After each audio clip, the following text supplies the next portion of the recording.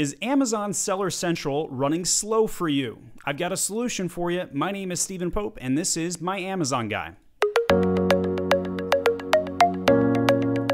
All right, so most of the time when you have an issue with Seller Central, whether it's like a page loading slow or it's bugging out, chances are you probably need to clear your uh, web browser cache. And it's not a pleasant thing to do. It does log you out of everything. You have to um, retrigger all your OTP two steps and all that good stuff, but it's a necessary thing. You should probably do this once every six months, in my opinion. Um, so to get to this page, you can either type in the web browser name Chrome, uh, settings, search equals cache, or you can go to the top right, click on the three ellipsis dots, and hit on uh, settings or history. Both of these will get to where you need to go. And in the search settings, just type in cache. That's spelled uh, C A C H E.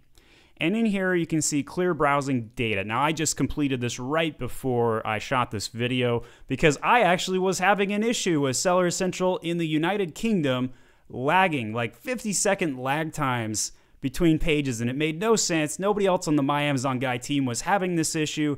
So I was like, ah, I guess it's time to clear my cache. So I did it, absolutely solved the problem and you want to select your browsing history, download history, cookies, and cached images and files. When you clear that data, uh, may take a moment or minute to clear that data, but it'll relog you out of Seller Central. You'll log back in, and chances are your problem will be solved. So you'll probably need to do this once every six months. If you run into any other technical issues after doing this, it could be Seller Central might be down definitely check out a forum and just see if anybody else is experiencing the same issue. Try switching web browsers. Chrome generally works the best.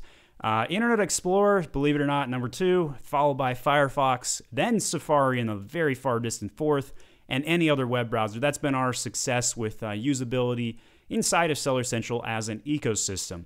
Um, so give that a whirl, troubleshoot that. If you have any challenges or run into another problem, don't hesitate to leave a comment on this video. We'll definitely go back and see if we can help you troubleshoot it. Other users will do the same thing. Um, any questions on Seller Central at all, don't hesitate to leave a comment. And then finally, if you need any Amazon consulting, go over to myamazonguy.com and contact us. We'll absolutely be available for a free consultation to see if we can be a good fit to manage your Amazon account for you or do a small project, say some A plus content for 500 bucks. Thanks so much for watching and hope you subscribe.